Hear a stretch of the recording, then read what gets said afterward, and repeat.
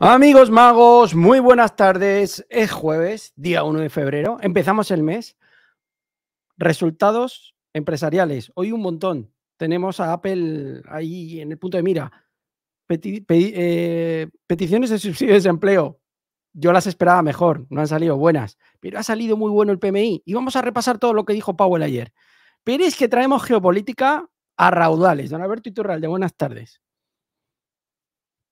Una camiseta para Alberto que se ha ganado porque está totalmente muteado. Totalmente muteado. Vamos ya casi empate. No esperaba hoy ganarme una camiseta. Pero muteado. Buenas tardes, amigos. Don Miguel Méndez, amigos magos, especuladores, bursátiles y demás gente de Malvivir. Sí, traemos de todo. Geo, en economía, en bolsa, pero además traemos chan, conspiraciones. Conspiraciones que pueden afectar a la NFL, al mundo de la música, a lo que sucedió el 11S.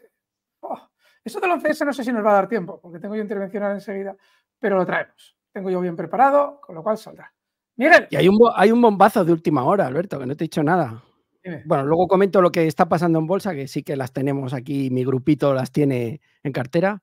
Hamilton ficha por Ferrari para 2025. ¿Y qué está haciendo Ferrari? Subiendo un 9% en el mercado. Golpetazo a Mercedes. Creo que Mercedes están que no se lo creen porque la noticia ha saltado por sorpresa, pero está confirmada. Traía los rumores As y Hamilton 2025 a Ferrari vestido de rojo. Carlos Sainz se queda sin asiento. Pero bueno, esto en comentarios vuestra reacción a esa noticia. Ferrari Hamilton 2025, Carlos Sainz sin asiento. ¿Pero qué es esto? En fin, estoy indignado. Miguel. Bueno, eh, yo tengo ganas de ver a Hamilton de rojo, la verdad, de como aficionado. Hungría que levanta su veto, Orbán levanta el veto y desbloquea 50 mil millones de euros en ayuda europea a Ucrania. Estos tíos están locos, Alberto. Eh, con 50 mil millones, yo he estado calculando, podrían tener los 27 países una media de 20 hospitales por país. Es decir, eh, estamos locos. ¿Cuánto van a ser las comisiones aquí? ¿Cuánto pueden ser las mordidas aquí, supuestamente, presuntamente? Miguel estimaba que a un 1% de comisiones, 500 millones andarán por ahí rondando a un 1%. Harán por ahí rondando para los artífices del acuerdo. Corrupción pura y dura. No va a ser un 1%, amigos, será un 3%. Recordad lo que se institucionalizó en su día en España, un 3% de corrupción. Sin embargo, lo más duro de todo esto es la decepción que sentimos muchos europeos. Bueno, más decepción con el gobernante que tenemos en España no podemos sentir ya. Pero nos quedaba la esperanza de que Orbán, que hasta ahora defendía los intereses puros y duros de Hungría, no cediera en cuanto a la idea de Unión Europea, 50.000 millones de euros a la guerra de Ucrania. Ucrania, país ni de la Unión Europea ni de la OTAN. ¿A santo de qué? Porque claro, de normalizar el discurso de los 50.000 millones, nadie se está preguntando eh, ¿y qué sentido tienen 50.000 millones?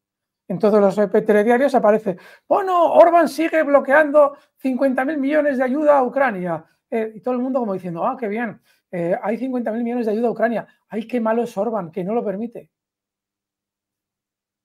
esto, estamos tan bollantes en la Unión Europea como para andar dando 50.000 millones para que Estados Unidos pueda poner más armas en una guerra que tiene perdida Ucrania? Sí. Lo preguntamos al vuelo por si alguien coge el guante y nos contesta. 50.000 millones de los europeos. Todos los agricultores en la calle, en Europa, en España, ya están saliendo por una ley de eh, emisiones cero. Eh, claro, porque claro, como ahora perdonad que lo diga, pero es que ahora el problema de la geología global, geología, calentología, son los pedos de las vacas, los agricultores tienen que salir a la calle. No hay dinero para ellos. Pero sí lo hay para Ucrania. 50.000 millones. ¿Y a cambio de qué? Lo ha hecho este señor Orban, a cambio de qué ha dado la vuelta. Ha tenido una conversación de hora y pico con la señora von der Leyen y algunos más. Vamos a simplificarlo porque es así y por dos cuestiones burocráticas de cambio de plazos en cuanto a la asignación de la ayuda a Ucrania, para tonterías, ha pasado por el aro. De manera, amigos, que hoy es un día muy triste para los ciudadanos europeos y muy feliz para sus títeres que se enriquecerán a costa de comisiones provenientes de sus 50.000 millones. Miguel.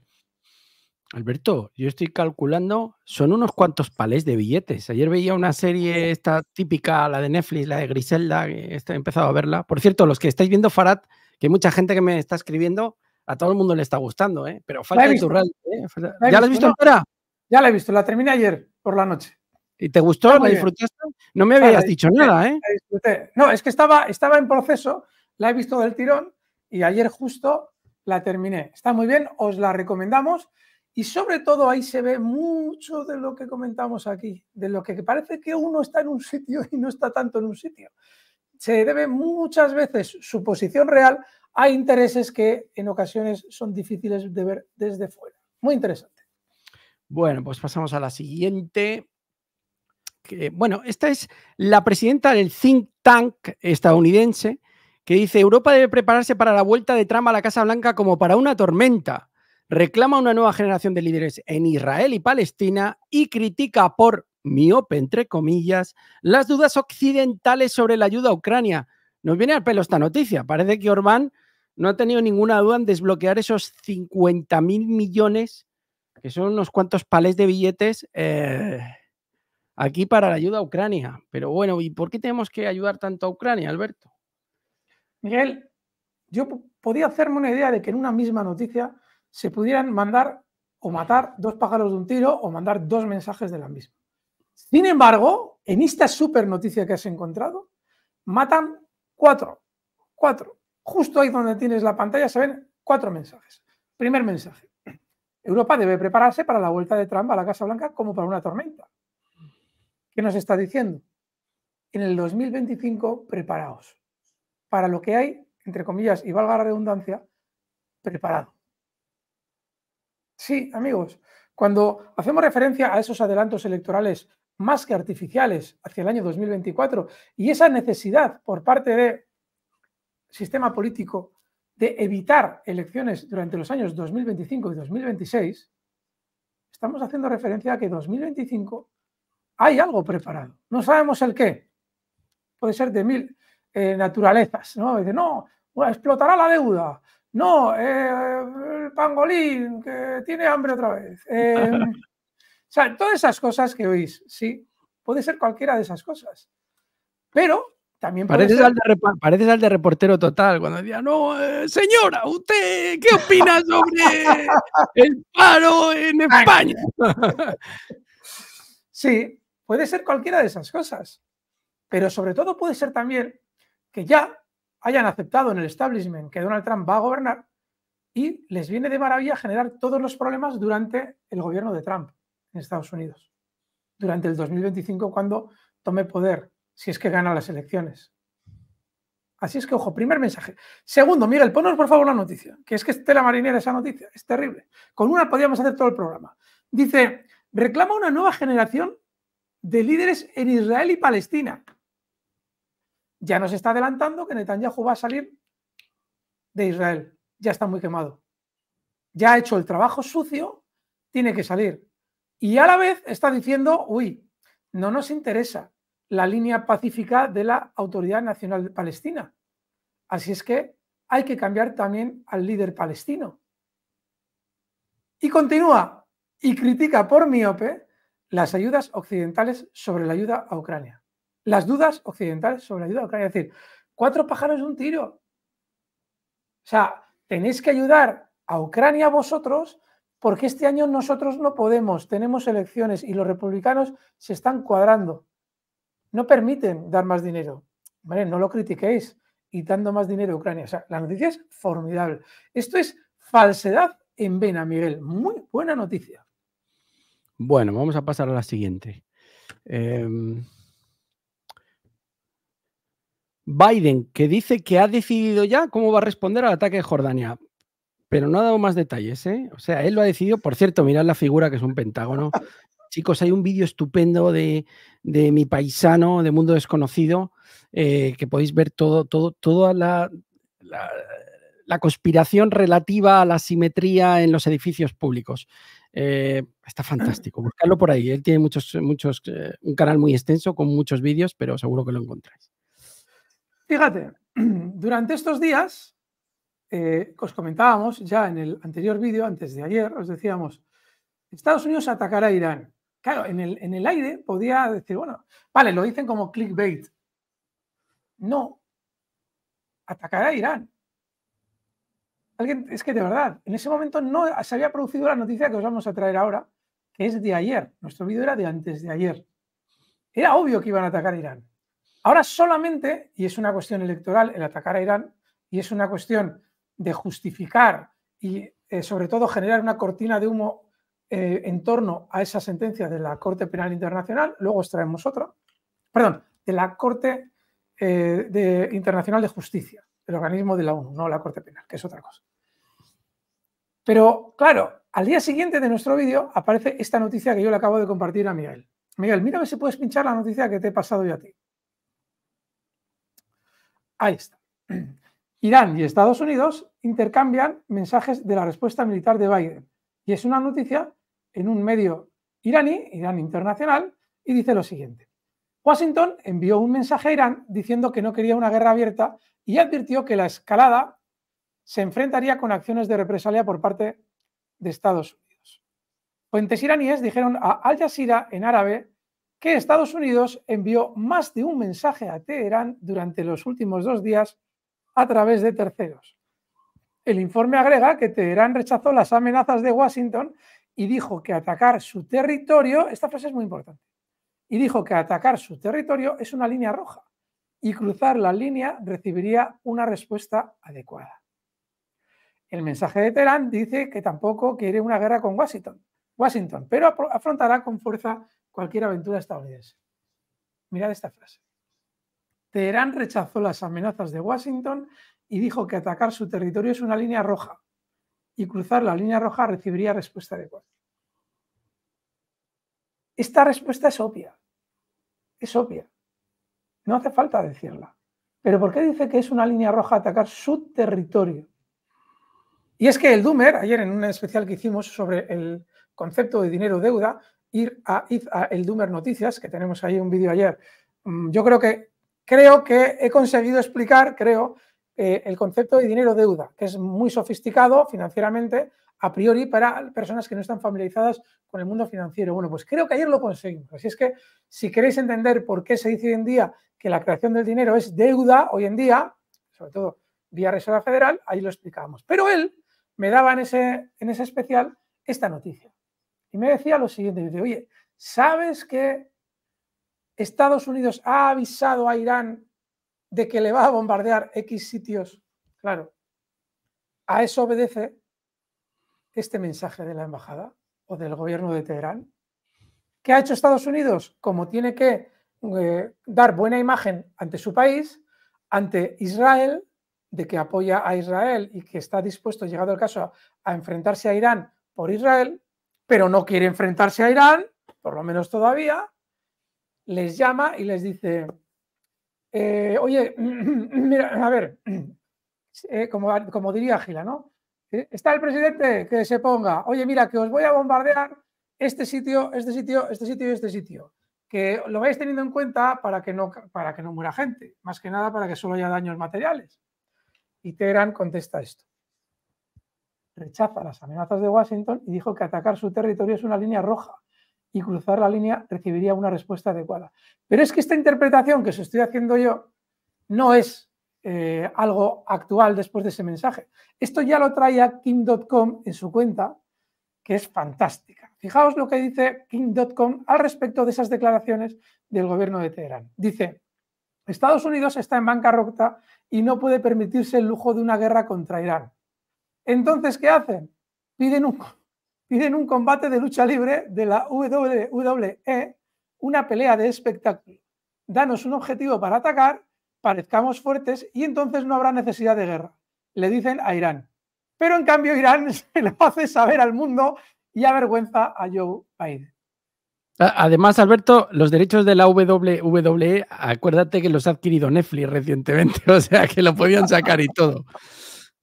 Buenísimo el Kim.com, ¿eh? Buenísimo. Buenísimo porque hace exactamente la interpretación correcta de la respuesta del gobierno de Irán. Es decir, mediante vía diplomática, Estados Unidos le está diciendo, oye, que, os tenemos que atacar, joder. Pero no, pero no os enfadéis, ¿eh? No os enfadéis ni respondáis, pero os tenemos que atacar. Y claro, Irán dice, pero ¿cómo que nos tienes que atacar? Ya, claro, es que, a ver, el ataque a, nuestra, a nuestro centro militar de hace una semana eh, está relacionado con Irán. Nosotros no tenemos nada que ver. Bueno, vosotros no tenéis nada que ver, pero, pero ir preparándoos que vamos a atacar. la guerra de Gila, literalmente. Así es que, amigos, para que veáis la noticia que nos trae Miguel y cómo se desarrolla, hasta qué punto puede ser ridículo en el ámbito internacional. Miguel, seguimos. Bueno, seguimos. Vamos ligeros, Albert, que si no, no nos da tiempo. Eh, bueno, Biden, la que se ha liado con Taylor Swift, chicos. Hay una teoría de la conspiración, os lo traigo por aquí, y dice, bueno, pone medios de derecha, realmente son los republicanos, apuntan a Taylor Swift como una absurda teoría conspiranoica antes de la Super Bowl. Ya sabéis que Taylor Swift, y si no sabéis, yo lo contamos, se ha echado un novio que es jugador de la NFL. Bueno, pues dicen que va a ganar eh, la Super Bowl al final el equipo de su novio. Esa por un lado. Pero es que dice además, una Taylor Swift que hay que recordar es la artista con mayor número de seguidores a nivel mundial, 278 millones, está a la altura casi de Cristiano Ronaldo y compañía, una de las más seguidas a nivel mundial. En las anteriores elecciones pidió el voto para Biden y ahora los demócratas están intentando recurrir a la reina del pop, dice aquí la noticia, para frenar a Donald Trump. Pues, pues lo tiene claro, lo tiene clarinete una diva del pop que, sí, durante las próximas. Alberto, solo un segundo. Tengo que decir una cosa que si no voy a explotar. Sí. Chicos, toda la industria en general, musical, de cine, etcétera, igual que Alberto nos, nos explica cómo se mueven los títeres alrededor del mundo de la geopolítica y de la política, en el mundo del espectáculo pasa lo mismo. Fijaos, Michael, Michael Jackson, desaparecido. Eh, ¿Cómo se llama el de la máscara? Eh, eh, Jim Carrey, en cuanto, te rebelas un poco contra el sistema, etcétera, etcétera. Eh, te obligan, te obligan a seguir. ¿Por qué sigue dando conciertos el boss? Les obligan a estar ahí. Ya no hablo de mis queridos Guns N' Roses. En el mundo de la música hay iconos que ellos deciden colocar en la punta de la pirámide para que controlen todo.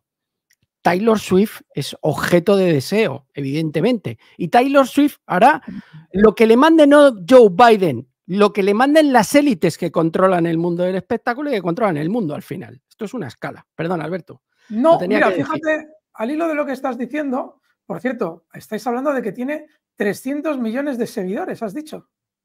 278, pero te lo voy a decir ahora ah, porque ya me quedo más tranquilo. ya me quedo más tranquilo. Ya, si son Instagram. Te voy a dar la cifra 279 millones de seguidores ahora mismo en Instagram. Ya me quedo más tranquilo porque Miguel, por favor, comparte mi pantalla. Amigos magos, cualquier día nos van a echar de todas las plataformas habidas y por haber. Y por ahora de Twitter no. Así es que haced el favor de meteos en esa cuenta que hay ahí, que pone la magia de la bolsa, con el mnemónico magia bolsa, y eh, estad siempre atentos a todo lo que publiquemos. Y os lo digo más que nada porque se van actualizando todas las, eh, como dicen, las políticas de las plataformas y en teoría cualquier día nos van a cerrar el canal, ya no por lo que decimos, sino por solamente tratar los temas sobre los que luego decimos las cosas. De manera, amigos, que eh, unidos a, a, Twitter, y me has dejado tranquilo, Miguel, porque si fueran 300 millones lo tendríamos más difícil. Tenemos por ahora 4.747 seguidores en nuestro en nuestra cuenta de Twitter, estamos un poquito más cerca de Taylor Swift. Muy bien. Bueno, ya nos queda poco. Nos queda, Por cierto, No, dudes de lo que ha dicho Miguel. ¿eh? No dudes de lo que ha dicho Miguel, porque claro, alguien puede decir, bueno, ¿qué conspiranoicos sois? Anoche me encontré un vídeo, además lo traduje yo, de Taylor Swift. No me quites la. Ahí está. Aquí te dice la señorita que, que está agradeciendo que todo su catálogo se haya, se haya vendido a Itaca Holdings de Scooter Brown en un acuerdo que según me dijeron, dice ella, según le dijeron a ella, fue financiado por la familia Soros, 23 Capital y el grupo Carlyle. O sea, más élite no existe. Carlyle ya sabéis que es el grupo de la familia Bush y los Bin Laden. Y Soros, pues poco hace falta que os hablemos de él. Así es que, Miguel, tienes toda la razón en cuanto a que esta señorita, por lo menos, anda muy cerca de las élites. Sí, sí, es evidente. Así funciona todo. Si no, si no haces lo que te mandan, pues no subes, como es natural. Bueno, em, seguimos. Pero bueno, esto yo creo que es público, ya tampoco decimos nada nuevo.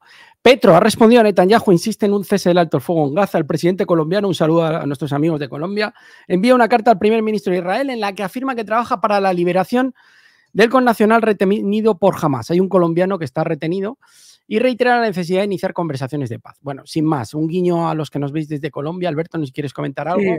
No mucho, simplemente que a partir de ahora el cese el fuego lleva aparejado un mayor peso moral, porque ya tenemos esa sentencia de la Corte Internacional de Justicia.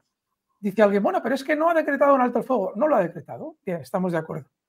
Pero a partir de ahora, cada vez que se hable de alto el fuego, se está hablando del alto el fuego de dentro de un patrón intencional genocida. Y eso tiene mucho poder diplomático. Yo entiendo que alguien dirá, bueno, eso no sirve para nada. Sirve, sirve de mucho. Sirve de mucho. Ya se está hablando de que Alemania ha apoyado todos los genocidios habidos y por hacer, porque ya sabéis que Alemania está ayudando a Israel. Cada vez hay más mensajes en los que ya no se está hablando de, sí, la solución de los dos estados. No es que además se está hablando de genocidio, que es lo importante. Y la palabra genocidio ya no se puede borrar de la mesa. Es inevitable. Así es que ojalá no solamente liberen a ese eh, amigo colombiano, sino que además también liberen a todos los demás, pero sobre todo que se deje de matar niños en Gaza. Miren, seguimos. Bueno, vamos a pasar a la siguiente. Eh, Putin dice, quieren provocarnos para tomar represalias, probablemente Putin, sobre por qué Kiev derribó el avión que transportaba prisioneros de guerra ucranianos. Sin lugar a dudas. Sin lugar a dudas. Es otra forma de mantener la noticia en la mesa. Putin lo hace muy a menudo, ¿eh? cuando sucede algo y ve que ese algo le interesa y va pasando desapercibido entre la opinión pública, en la siguiente rueda de prensa en la que comparece, lo vuelve a soltar. Y se inventa, se inventa, quieren provocarnos a tomar represalias. Eso desde el principio. Pero se inventa algo, ¿por qué? Porque hay un problema en todo esto. Claramente Rusia está persiguiendo objetivos militares, militares o infraestructuras que puedan ayudar militarmente a Ucrania. Y mientras eso hace Rusia, Estados Unidos está siendo cómplice de un genocidio puro y duro contra sociedad civil. Claro, ¿cuáles son las represalias que le quieren obligar a Rusia a adoptar? Pues obviamente castigo a población civil ucraniana, cosa que no están dispuestos a hacer, porque las que están tomando hasta ahora las medidas rusas continúan en marcha contra objetivos militares. Luego, ¿por qué introduce Putin ese factor? Porque de lo que está hablando es de represalias civiles, ¿vale? Que en principio no parece que vaya a haber. Por cierto, amigos, hay, de verdad, hay personas con cuatro problemas hoy en día hablando o opinando en los foros y en las redes sociales. Cuatro problemas, cuatro. Ignorancia histórica, desinformación, vagancia y luego pues, eh, digamos, si conoces la historia entre Rusia y Ucrania, eres consciente perfectamente, la cuarta es cobardía, eres perfectamente consciente de que para Rusia, Ucrania es un territorio hermano. Desde siempre lo ha sido. Gran parte de Ucrania ha sido siempre Rusia. ¿vale? Una de las respuestas que nos encontramos, yo me encuentro en muchos de mis tweets o en los, incluso también en los mensajes de YouTube, por cierto, ponednos por favor vuestro comentario eh, en torno a lo que pensáis sobre lo que vamos hablando aquí en, en la magia de la bolsa. Una de las respuestas es, oh, si Rusia fuera tan fuerte militarmente, ya habría acabado con Ucrania. No, Rusia no es Estados Unidos. Rusia no tiene ninguna intención de bombardear Kiev y dejar eso como un solar, como hizo Estados Unidos con Bagdad, y dejar 600.000 muertos. No, Rusia no quiere eso para la historia de Rusia. Eso sería un, manchón brutal en su historia, en la historia de Rusia, la historia futura de Rusia. Rusia lo que quiere es eliminar la capacidad de ataque, la capacidad militar de Ucrania o de defensa militar y dejar que el Estado colapse para hacerse con lo que tenga que hacerse Rusia en Ucrania. Punto. Y obviamente que no se ataque Donbass. Pero es que quien mantiene, sostiene ese, discurso tan ridículo de que es que Rusia que arrasaría si quisiera, está ignorando una realidad, está muy desinformado. Todo esto ha empezado por el golpe en Donbass. Perdón, en Donbass. El golpe en Kiev del Maidán. El golpe en Kiev, promocionado por la OTAN, genera luego los ataques que luego se ven en Donbass, esos tratados de Minsk que voluntariamente la Unión Europea, Alemania, Francia, los grandes de la Unión Europea no respetaron y que ha derivado en lo que tenemos ahora. Así es que, ojo, porque todo esto, además, tiene que ver con la vagancia, porque ni siquiera te has molestado en informarte, tragacionista. Lo triste de todo esto es que también tiene que ver con la cobardía. Y es que hay muchas personas que conocen esta historia y no se atreven a decirla abiertamente en los medios en los que participan por miedo a ser cancelados. Yo cuando empecé a soltar estas cosas en negocios televisión fue el mismo febrero de 2022. Y yo ahí me la juego, porque yo con José Antonio tengo una relación muy buena y creo que negocios son independientes. Pero la presión que había global sobre ese discurso en ese momento podía haberme dado por, podría haber terminado en que me mandaran a tomar viento. Salió bien la cosa, pero podría haber salido mal. Bueno, pues las personas que conocen de esto, como mi querido Pedro Baños, que está siendo un auténtico valiente a la hora de denunciar estas cosas, tienen que hacer lo mismo que hace Pedro Baños. Con valentía, sí, te juegas mucho, pero más nos jugamos si no denunciamos las mentiras. Miguel, perdona, porque hoy en teoría teníamos menos tiempo y soy yo el que se enrolla. Perdona. Aligera que no, que no llegamos. Zuckerberg pide perdón a los padres de víctimas de abuso infantil en redes sociales. Bueno, se levantó y pidió disculpas cuando fue preguntado en el Senado de los Estados Unidos. No sé si habéis visto las imágenes, pero bueno, por lo menos, por lo menos, tuvo, por lo menos tuvo la valentía de hacerlo. Sí, eh, me parece que este tío cada vez más me parece, Miguel, no sé tu opinión, que es un títere, que está, es como si estuviera recibiendo instrucciones de cómo tiene que, implementar sus redes sociales, Facebook y todo esto, para dar datos al gobierno estadounidense. Claro, como en esa, en esa mecánica, pues la línea es muy difusa, pues de vez en cuando se encuentra con situaciones como estas. Miguel, muy bueno. Bueno, seguimos. Vamos a pasar a la siguiente. Pues UTIs atacan buque mercante estadounidense en el Mar Rojo. Cada vez hay más presión. Eh, sobre todo allí, mira, hoy por ejemplo Adidas, el CEO, ha dicho que están teniendo problemas y retrasos en las entregas por el tema del Mar Rojo, por, toda la situación que, está sucediendo allí y incremento de costes. Ojo, porque esto se extiende en el tiempo, puede afectar, puede acabar afectando, ¿eh? sobre, alguna, sobre todo algunas compañías. Consecuencia, caía Adidas un 7%, 8% en la mañana de hoy. Sí, sí, formidable. Bueno, a ver si por lo menos los ataques se producen hacia buques que tienen que ver con este asunto de Gaza y no a los demás. Y ojo, los ataques a otros buques necesariamente no van a venir del lado UTI. Lo hemos comentado en algún programa, este tipo de cosas funcionan así. ¿eh? En un momento determinado, falsas banderas por doquier con tal de hacer ver que los UTIs no saben disparar. Y en realidad igual no han sido los UTIs quienes han atacado un barco chino o un barco ruso, pero a Estados Unidos igual le interesa que alguno de esos barcos sea atacado para que China y Rusia se vean implicados en el problema. Por cierto, era mentira ¿eh? lo de que China les había dicho a los hutíes que tenían que ir eh, finalizando sus ataques. Hace unos días salió la noticia de que, hombre, por fin China se implica y ya le ha dicho a Irán que hable con sus amigos los hutíes para que dejen de atacar barcos en la zona. Falso. A eso le emplazó la diplomacia estadounidense a los chinos. Les dijo a los chinos, Estados Unidos, oye, decirle esto a Irán. Y lo publicaron como si los chinos lo hubieran hecho. Pero la respuesta de China fue, no han sido Irán quien ha generado los problemas en la zona. Esa fue la respuesta real de China a Estados Unidos. Bueno, pues la prensa occidental te lo vendió como que China ya había hablado con Irán para decirles a los hutíes que, no atacaran barcos en, el Mar Rojo, en, en Babel Mande. Mm, falso. Miren, seguimos. Bueno, pasamos a la siguiente. Em, esto forma parte también de la WWE, como, como comentaba. Así es. Catástrofe en Gaza. Israel asedia dos hospitales que albergan a miles de pacientes y desplazados. Se quedaron sin alimento, sin alimentos y los niveles de combustible han disminuido de manera crítica. Recordad que los ataques de los UTIs son para que se deje entrar ayuda humanitaria en Gaza. Estáis viendo ahí la noticia. No sé si habéis visto un vídeo ayer en redes sociales en el que aparecen soldados israelíes disfrazados de personal médico entrando en uno de los hospitales a llevarse por delante todo lo que había dentro. Como no podemos poner esas imágenes, pues lo evitamos. Pero la descripción es bastante real. Así está Israel ahora mismo en Gaza. Pisando el en el genocidio. Perdón. Tenemos elecciones en Europa este año en España, ¿verdad? Si en, no me equivoco. En España, en España son de las comunidades autónomas. no tenemos europeas, ¿no?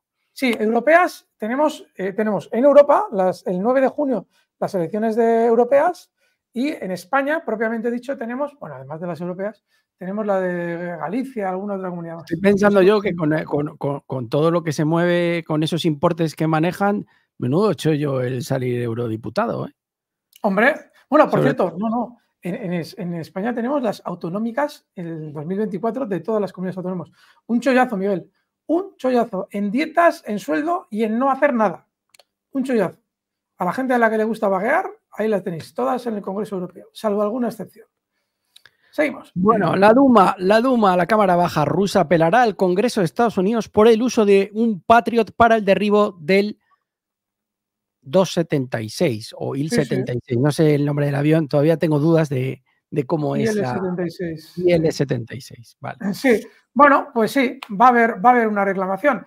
Recordad que todo este tipo de cosas, incluido también las que tienen que ver con el bicho, el del 2020, que también ha habido en la Duma una resolución para pedir explicaciones a Estados Unidos sobre lo del bicho, pues ese tipo de reclamaciones tienen un aspecto muy simbólico, muy simbólico, pero colocan en la opinión pública un debate necesario. Es decir, ¿cómo que vas matando a prisioneros que van en un avión cuando te he avisado que voy a enviar ese avión? Tenemos un cordón diplomático siempre abierto. Cuando va Joe Biden a Ucrania, se llama y se dice, oye, eh, ¿Son los rusos? Sí, no bombardéis ahora que viene el abuelo. Punto, si es normal. Si, va, si tuviera que ir Putin a algún sitio concreto que estuviera en conflicto, si va, imaginaos que va a Siria. Pues lo mismo, oye, mira, que va Putin a Siria, no disparéis. Eso es normal. Pues pasa lo mismo con el avión. Oye, que va un avión de prisioneros, para el intercambio de prisioneros. Nos lo cargamos. Eso, está mal, ¿eh? Está mal.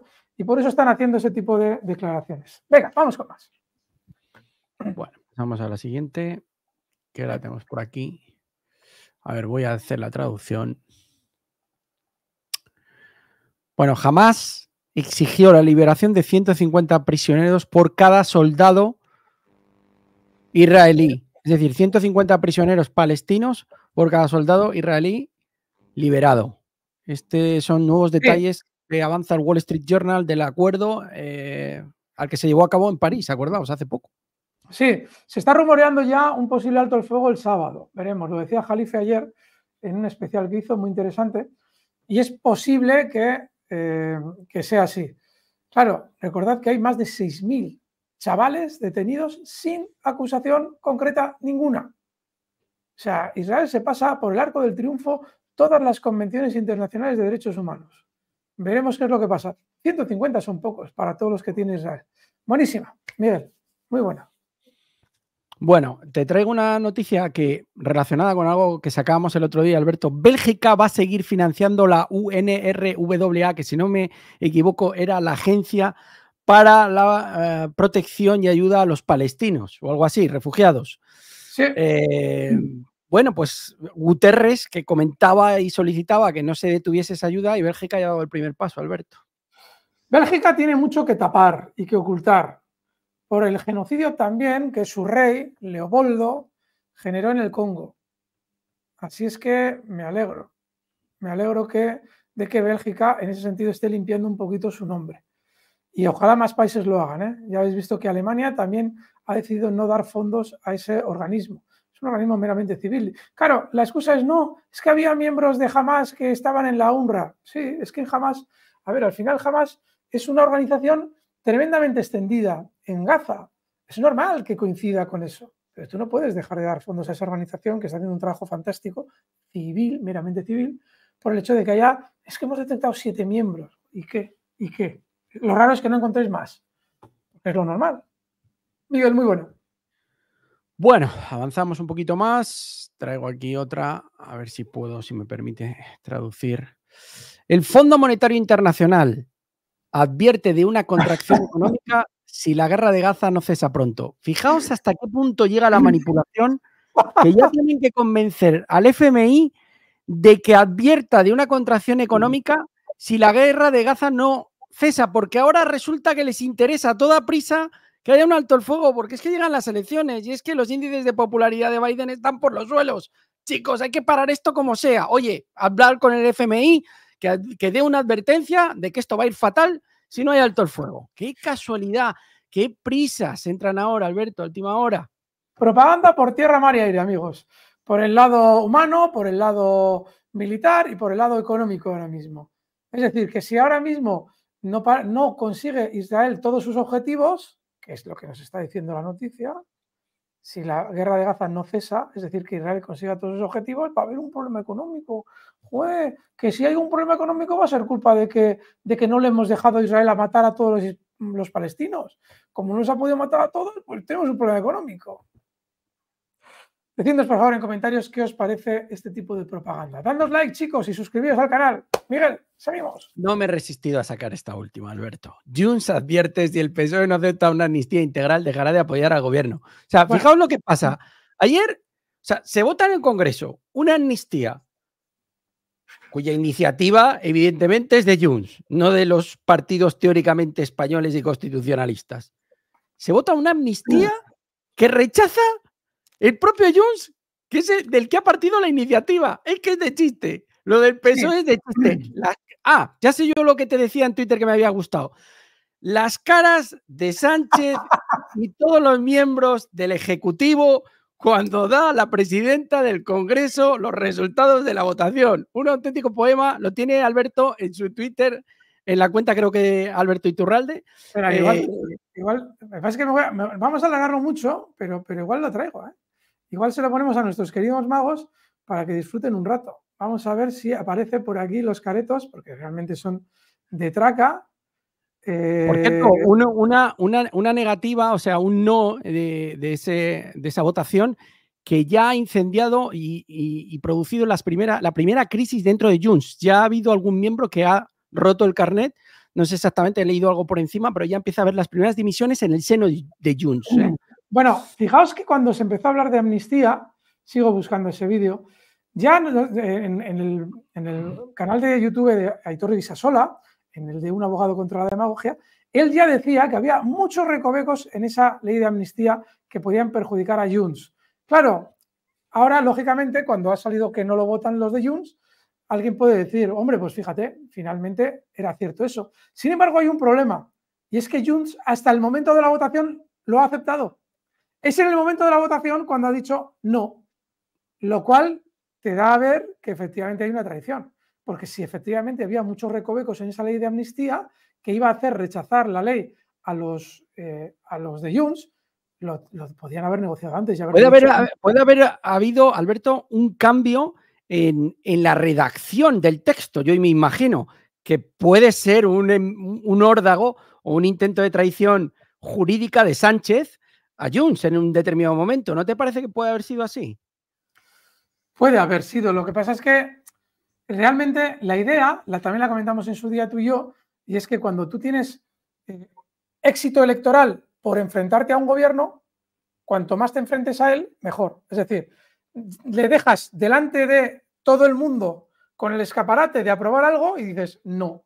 Con lo cual, mucha gente de los que te están votando a ti dicen, estos me defienden a mí. Estos me defienden a mí, porque fíjate cómo se plantan con Sánchez. O sea, están, Junts está en campaña ya de las elecciones. Claro, claro. Seguramente van a forzar unas nuevas elecciones y ya están en campaña, como bien dices tú, efectivamente. Claro. iremos viendo, iremos viendo. Pero le está muy bien empleado Sánchez. Muy bien. Bueno, pues nada, estas son las noticias que traía. Voy con la macro rápido porque hay bastantes cosillas por ahí. A ver, un segundín que vamos a compartir. Chicos, si os gusta el contenido, no os olvidéis de nuestros likes famosos. Sí, sí, sí, sí, sí. Que gracias por el apoyo, porque tenemos un ratio de likes muy alto y a pesar de que el canal no nos tira, pero estamos contentos con todo vuestro apoyo, así que es una maravilla. Vamos. Ah, venga, vamos por ahí, ya lo tengo. Lo tengo aquí, vamos al inicio del todo del artículo. Bueno, datos de hoy. Em, dato más importante, sobre todo, bueno, el IPC zona euro ha aumentado una décima. Eh, los PMIs España y Alemania un poquito mejor. Eh, quizá el español sea un poco mejor que el alemán, pero el alemán es, es desastroso, aunque sale una décima mejor en 45. Pero el dato que no aparece aquí, aunque yo ya lo he visto, es el dato de PMI manufacturero que ha mejorado. A ver, eh, reflexiones. Cuando ayer Powell nos dice, oye, que ya lo sabíamos, ¿eh? O sea, ya se sabía lo que iba a decir. Oye, que hasta que no esté seguro que la inflación está controlada, yo no voy a bajar los tipos, las bolsas, ¡pum! Vale, eso es porque tiene que conocer los datos que salen mañana de empleo. Hoy ha salido un dato de peticiones de subsidio más alto de lo esperado. Yo me esperaba un dato más bajo por las palabras de Powell, pero Powell conoce los datos de, de paro. Si nos está diciendo esto, hay dos opciones. Una, es honesto, conoce los datos de empleo, mañana van a salir datos por encima de lo esperado, lo cual nos ha dicho la verdad y se aleja un poco esa posibilidad de bajar de tipos, por supuesto que en marzo, y ya veremos en mayo, deja las puertas abiertas. Las bolsas sufren, sobre todo los valores de mediana eh, capitalización y baja capitalización, el dinero se va más a los grandes y a, los activos más conservadores. Dos, nos ha mentido. Conoce los datos, mañana sale un dato malo de empleo, bueno teóricamente, paradójicamente, para las bolsas, sobre todo para los activos de mediana y baja capitalización, los más endeudados, y un poquito menos bueno para los más conservadores. El dinero sería más a lo agresivo. Si nos ha engañado, que puede ser, está diciendo una cosa y está planteando esa bajada de tipos para el mes de mayo. Vamos a ver si Powell ha sido honesto o no mañana con el dato de empleo, que nos va a sacar de toda duda. Estaremos muy atentos. Bueno, Vamos a seguir un segundo. Noticias. Vamos con coche eléctrico. Li Auto, Li Auto. Es un poco aburrido. Bueno, buenas ventas, no os voy a leer todo. Objetivo, convertirse en la marca de automóviles premium más vendida en China. Tesla eh, ofrecerá un descuento por pronto pago de 8.000 yenes eh, para determinados modelos, eh, vehículos modelo Y a partir del 1 de febrero. NIO ha publicado los delivery, las entregas. 10.055 eh, vehículos, aumento del 18%. Vale. ATT, JP Morgan actualiza sobre ponderar y eleva precio objetivo. Qualcomm, Citigroup, rebaja la calificación de Qualcomm y anuncia precio objetivo de 160 dólares. Twilio, circulan informes de que el rival holandés Bert está considerando una oferta por Twilio con inversores externos. Ojalá. Eh, Mastercard, Evercore aumenta el precio objetivo de 520 a 530. Bank of America, Wells Fargo reduce el precio objetivo de Bank of America de 200 a 215 de 225. Y Plug Power ha aumentado hoy recomendaciones positivas de analistas y primer envío de hidrógeno a Amazon y Walmart. Suben hoy Plug Power, eh, SunPower, todas las compañías relacionadas con el sector, Fuelcel, etc. Eh, estadística importante. Cuando enero, en año electoral, arroja un resultado positivo, el resto del año siempre arroja resultado positivo. Yo creo que ya lo hemos comentado. ¿Cuál es la rentabilidad media de los 11 meses? 11,47%. Mm. Nos lo, nos lo, traen los chicos de Finon Group, que son los que han sacado aquí la estadística. La estadística es formidable, ¿eh? formidable. Sí, es muy buena. Pero unido a eso, voy a bajar un poquito, creo que lo tengo por aquí. Esta es la rentabilidad que hemos, que ojo, parece que la bolsa ha subido mucho. A ver, no está mal, pero el Nasdaq ha subido un uno y pico y el SP rondando el 2% aproximadamente. O sea, mm, ha subido, anualizado es una subida importante, pero que tampoco hemos subido un 7% en un mes. ¿eh? Bueno, el Russell ya visto que ha caído un 3,9. Pero bueno, eh, lo importante es que ha acabado positivo y ahí tenemos la estadística. Siguiente, pelotón, fatales resultados, mal guidance, cayendo. Esto es el ejemplo de que un valor puede ir de 170 a cero, como nos decía nuestro queridísimo Antonio Sáenz del Castillo cuando decía que las series tendían a cero. La Fed, bueno, los analistas ya os hemos comentado, retrasan el primer recorte de tipos proyectado por la Fed de marzo a junio tras los comentarios de Powell. Estas son compañías que venían hoy haciéndolo bien, Plus Power, que acabamos de hablar de ella, Align Technology, buenos resultados, 14% en pre-market, o Corteva, que era protagonista positiva del día junto con Val Corporation y Sunround. Eh, en el punto negativo, Peloton Interactive, Markel y CH Robinson. ¿vale? Eh, el cacao dispuesto a un nuevo máximo y dice el artículo, el gas natural parece que está fingiendo no querer bajar a cero, porque es que no para de caer el gas. Fíjate, hemos visto las subidas, Alberto, del, del níquel. Perdón, Miguel, solamente un dato. Sí. Ojo con lo del gas natural que puede tener que ver, atentos, ¿eh? qué cosa tan increíble, con la erupción del Unga Tonga, de la que os hablábamos la semana pasada. Se está descontando a nivel global que van a haber cinco añitos de un especial calor en el planeta. Parece una locura, Sí. lo veremos.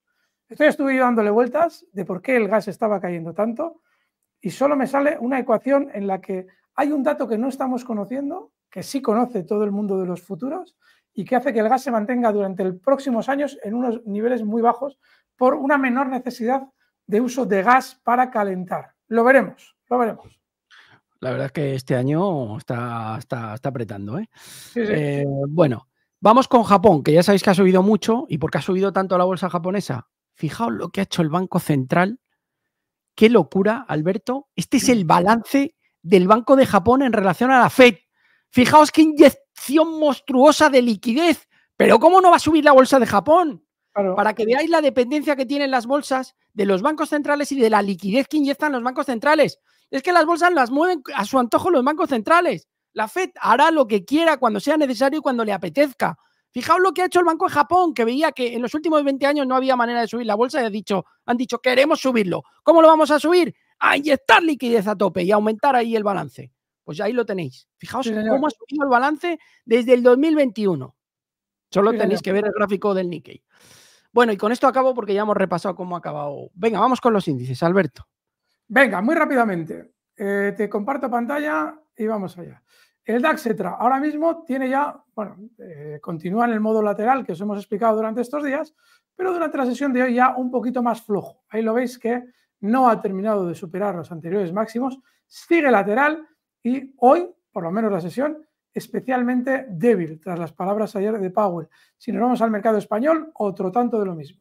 También comenzaba muy fuerte. Recordad que en España estamos con la resaca de resultados bancarios que han sido muy positivos, pero la barra de hoy es muy significativa en tono negativo. Ha empezado especialmente fuerte por la mañana, pero a la tarde ha recortado toda la subida matinal y veremos dónde lo hace al cierre porque ya ha roto la baja o por lo menos lo está haciendo ahora mismo zonas de 10.000. El SP500 también lo tenemos muy suavecito. El recorte de ayer tras las palabras de Powell fue inmediato y ahora lo tenemos en modo lateral. No tiene especialmente buena, buena pinta. Fijaos en que por lo menos la sesión de ayer aumentaba ligeramente la volatilidad. No es buen síntoma para subidas, por lo menos inmediatas. De largo plazo os hemos explicado estos meses por qué probablemente el 2024 iba a ser un año muy positivo. El Dow Jones tiene un poquito menos de volatilidad comparativa con el SP500, pero también está muy débil, recortando también hoy un poquito en plano, pero eh, por debajo de los máximos, con lo cual, ojito porque podríamos tener un cierto recorte también en el mercado americano durante estos días. Mercado español, todo sigue igual. Bancos, BBV marcando nuevos máximos históricos muy bien, continúa la fiesta. Santander también ha tenido un pico esta mañana muy optimista para recortar después. Y bueno, pues siguen los habituales. Ferrovial ha tenido recorte, parece que se apunta también a la volatilidad, no es buen síntoma. Y también otro valor del que hemos hablado estos días, Indra parece querer parar temporalmente las subidas. Ojo, a ver, en las próximas horas, si continúan los recortes en los índices europeos, por si fuera el comienzo de una caída mayor, por lo menos inmediata. Que no cambie la tendencia de 2024 alcista, pero que sí nos traiga un recorte que os hemos venido hablando de él durante las últimas semanas. Miguel, eso es todo en, en cuanto a los índices mundiales. Hay, hay un valor en España que no lo está haciendo mal tampoco, que es Vidrala. Está en niveles Ajá. de 93, 94 y la verdad es que tiene buen aspecto. Pero bueno, eh, simplemente o lo, o lo apuntamos, no sé si lo, si lo tienes por ahí. Yo no descartaría que este valor fuera en medio de un poquito de recorte del IBEX, entrar un poco de dinero de refugio y fuera a intentar buscar los 100. Pero bueno, hay poquito que se salve en España. Miguel, entonces- ¿Te importa que te abandone mientras das esos maravillosos No, valores? no, no, no, no, para Porque nada. no, se van a enfadar conmigo. Venga, Ya. amigos, Vamos. salgo, fuerte abrazo. Quedaos con Miguel, que este sí que sabe de valores. Hasta ahora. Venga, hasta luego, Alberto. Bueno, fijaos, enhorabuena a todos mis suscriptores porque tenemos en las primeras posiciones dos valores que hoy han ido fantásticamente bien y uno de ellos es Ferrari, que ya sabéis esa noticia, publica resultados hoy, y ya sabéis la noticia del fichaje de, de, Lewis Hamilton por la, por la eh, escudería, voy a ponerme aquí arriba, así lo veis más grande, eh, ha publicado esa noticia y ha sido salir la noticia y ¡boom! Ahí tenéis, movimiento de niveles de 300, estaba en niveles de 315, 316 esta mañana, se ha ido a 350, estamos ahora todavía unos minutitos del cierre, ha hecho un máximo en 3.54, probablemente mañana estire un poco más, pero subidas del 8-16% en este momento. Así que enhorabuena a todos los que eh, la tienen en cartera y enhorabuena a los que me siguen porque la tenemos prácticamente en cartera casi todos. Eh, siguiente valor que ha dado muy buenos resultados, voy a ser breve, traigo hoy solo 3-4 valores, Credit Acceptance, que también es una de nuestras principales posiciones. Eh, la hemos comentado también aquí en el canal y eh, la mayor parte mm, la tenemos en cartera. Eh, aún yo creo que hoy está la pauta general de Credit Acceptance es que cuando un valor da buenos resultados en Wall Street, suele estirar de forma alcista hasta final del día. Por lo tanto, sería bueno liquidar la serie entre 9 y media y 10 menos 5 de la noche yo aprovecharía a lo mejor para colocar el papel, aunque habéis visto que ha hecho un máximo en, 500, en 617 y está a 586, muy probablemente durante la sesión vaya a buscar niveles de 608, 610 para acabar cerca de los máximos. Ahora mismo subiendo casi un 9%, pero ha llegado a subir un 13%. Así que enhorabuena también a todos los que tenéis esta maravillosa compañía a nivel fundamental eh, que tenemos en cartera. Fijaos, os voy a sacar el gráfico a nivel, os voy a sacar algunos ratios a nivel fundamental. Eh, porque merece la pena pararse aquí y que lo veáis. Fijaos, es una compañía de 7 mil millones de market cap. El income o el beneficio son 286 millones. Ventas, 1.900 millones. Per 26, forward per 14, lo cual quiere decir que hay crecimiento, estimación de crecimiento a 5 años 22%. Tiene un nivel de PEG muy bajo, que esto es muy bueno, 1,21. Solo cotiza 3,88 veces ventas, que no es mucho. Y fijaos, fijaos, fijaos el beneficio neto del 15%, el profit margin un 15% y el operativo un 34%. Esto es una bestia.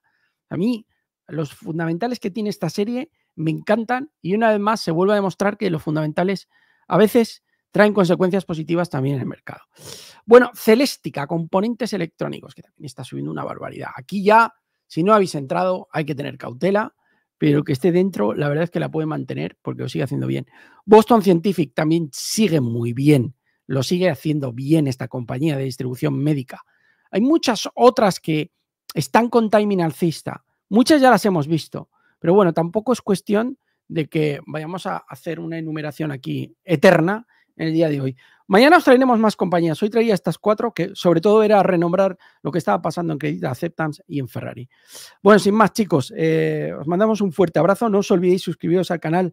Ahora, cuando salga el mago, sale el logotipo y dadnos esos likes. Así que fuerte abrazo, buen trading y buen jueves. Atentos a los resultados de hoy, esta noche, al cierre, que son importantes, y atentos mañana al dato de empleo que va a marcar el devenir de las bolsas en las próximas sesiones. Veremos un dato bueno, nos dirá Powell la verdad. Veremos. Saludos, chicos.